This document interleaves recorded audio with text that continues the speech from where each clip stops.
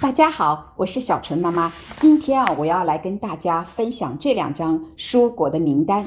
这张是亮红灯的，这上面的十二种蔬果是农药污染最严重的、最脏的蔬果。这个是开绿灯的，这上面的十五种蔬果是农药污染最少的、最干净的蔬果。那这对我们种菜的意义就非常大了。就我个人而言，我选择种蔬菜，我首先考虑我喜欢吃的那些蔬菜，我要先种。那接下来我就会看这张表了，尽量种这上面列的蔬果。那这张上面列的蔬果就是可种可不种了。这两张单子不是我总结出来的，它是美国的一个非盈利的环保组织，名字叫 EWG 的一个组织，它每年都会公布。我会把它的网站的链接放在底下的说明区里。这是它二零二一年公布的。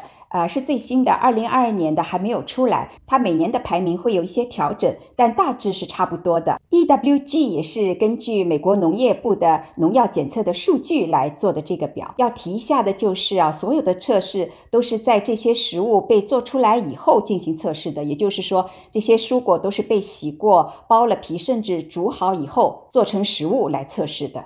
EWG 二零二一年的名单里共有四十六种蔬果，那我会把这四十六种蔬果都翻译成中文，按照它从最脏到最干净的顺序排列，然后放在视频底下的说明栏里供大家参考。在这个视频的结尾啊，我会跟大家分享一个小诀窍，就是如何区别呃超市货架上的有机和非有机的蔬果，因为它们往往是放在一起的，大家拿来拿去啊就会混在一起了。好，我们现在就来看一下这张黑名单。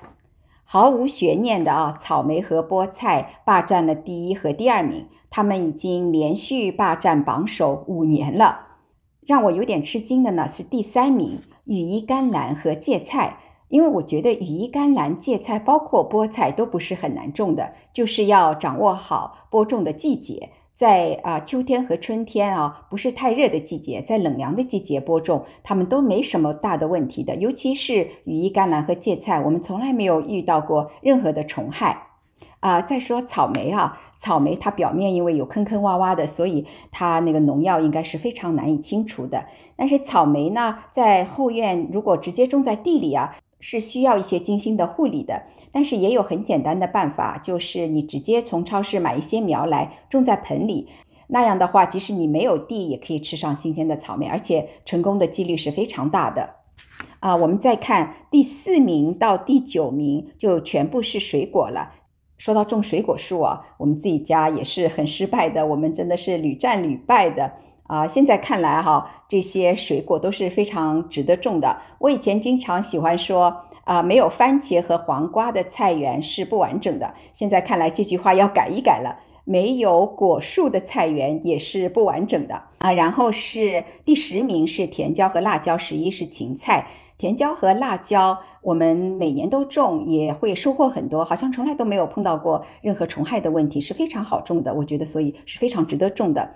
芹菜呢？呃，我们也有种，我们种的很多的是水芹和野芹菜，就是常年生的啊，不用去管理的，每年它自己会长出来的。在早春的时候吃是非常嫩的，它的味道比较浓，也许有些人会不喜欢，但是我是非常喜欢的。我们今年也会种一些中国芹。再看第十二名是番茄，今年番茄啊。呃，挤掉了土豆，到了十二名。这里指的是大番茄，那个樱桃番茄它是在第十四名。确实，如果你种过这两种番茄，你就会知道，樱桃番茄相对好种一些，没有什么问题。大的番茄呢，呃，有一些难度，经常会有一些病虫害，也需要搭架子。但是我觉得番茄真的是最值得种的蔬菜，因为它的口感跟店里买的实在相差太远了。即使是种菜的新手，我也建议要尝试番茄的。